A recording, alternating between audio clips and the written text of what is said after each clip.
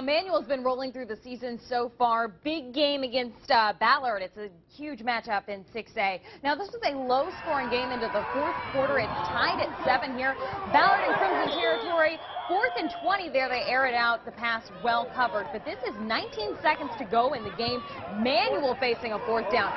And that is Michael Nero busting through 62 yards for the game winner. It's legendary stuff here. 62 yards, 19 seconds on fourth down. So then the Crimson onside kick, they recover, they kneel it out, they win this 14-7. 4-0 on the season so far.